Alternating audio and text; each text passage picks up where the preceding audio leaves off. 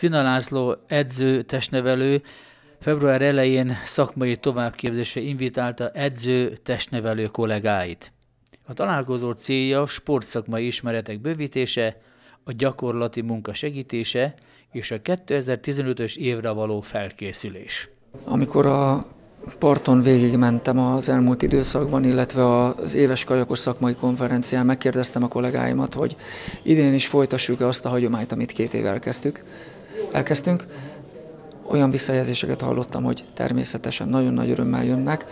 Egy kiváló megújulás mindenki számára, egy együtt gondolkodás, olyan kollégáknak a gondolataiból lehet merítkezni és táplálkozni, akik a kajakkenu sportnak a az elitjét képviselik. Ma a, az új irányzatok közül a crossfitnessből merítünk, megpróbáljuk fölvázolni, hogy a kajakkenu sport téli felkészülésébe hogyan lehetne ezt beleilleszteni, és milyen formában.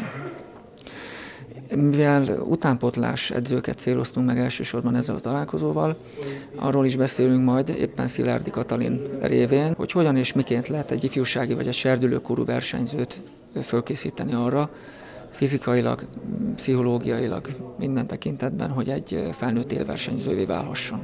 Az utánpótlás nevelésben élen járó HODS nagy gondot fordít a tehetségkutatásra, a tehetséggondozásra. Igen fontos feladat a gyermek, serdülő és ifjúsági korú kajakozók felkészítése.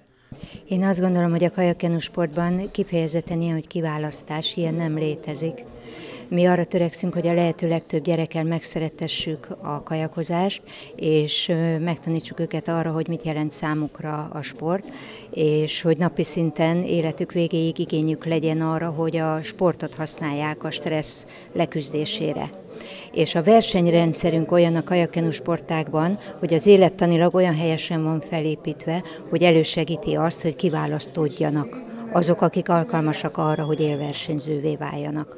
Ez szándék kérdése is, meg annak a kérdése is, hogy az edző mennyire képes a gyereket elszántát tenni, és mennyire képes arra, hogy kösse a sportákhoz élményekkel.